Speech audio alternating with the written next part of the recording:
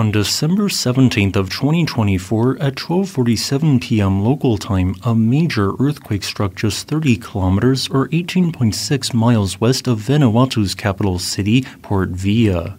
Registering in as a magnitude 7.3, it caused the ground to shake back and forth for 30 seconds with such a severity that even structures built to withstand high magnitude earthquakes likely would have still sustained some damage, with the ground acceleration at points reaching 40% the force of gravity.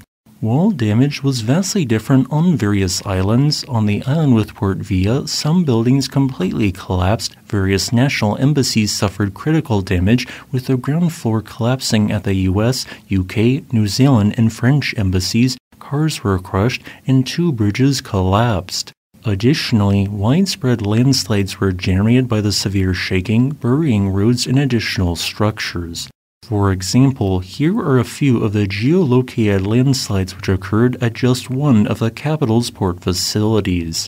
However, this earthquake also generated a localized tsunami warning for all coastlines within 300 kilometers of the earthquake's epicenter, warning of hazardous tsunami waves of up to 1 meter in height. While the tsunami did end up striking much of the nation's coastline, it was far smaller than initially feared, only reaching a maximum height of 25 centimeters or 9.8 inches. While damage and casualty assessments are still ongoing, preliminary U.S. Geological Survey models suggest an 80% chance of a total deaths and economic damage running between these two figures. If we take the upper figure, 800 million US dollars, that figure might not sound like a lot for a nation such as, say, Italy or Poland, but for Vanuatu, that is more than the total expenditure for its entire government across 22 months. And even if a more mid range or lower figure ends up being correct, say 50 million US dollars, which I am almost certain is a minimum figure at this point, such a total will be difficult for a nation to pay since its economy heavily relies on remittances.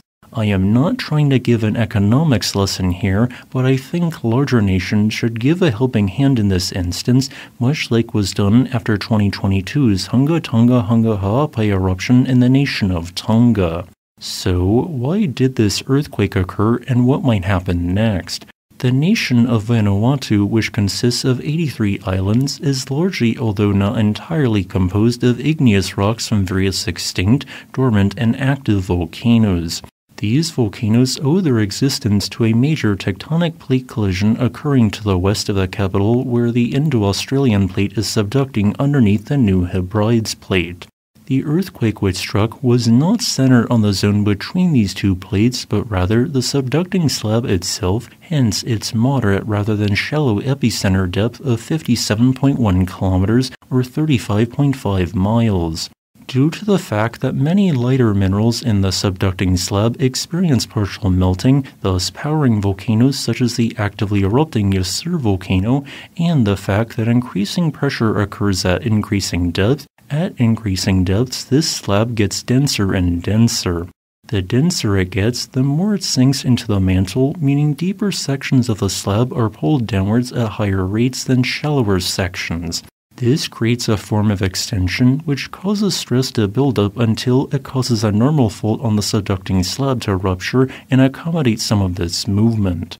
Across all of Vanuatu's islands, there have been 69 similar magnitude 7 range intraslab earthquakes since 1900, but it just so happened that today's quake was the largest to ever occur close to the nation's capital. More aftershocks are likely to occur in the upcoming days and are most likely to be smaller in magnitude, following a 1 over x trend that decreases in abundance as time progresses. These likely aftershocks are why you should not re enter any buildings that show signs of damage, as these could be accentuated if and when a major aftershock strikes. Also, stay away from any cracks or fissures in the ground running perpendicular to the slope of a hillside, as this could represent the site of an ongoing landslide. Please stay safe, everyone.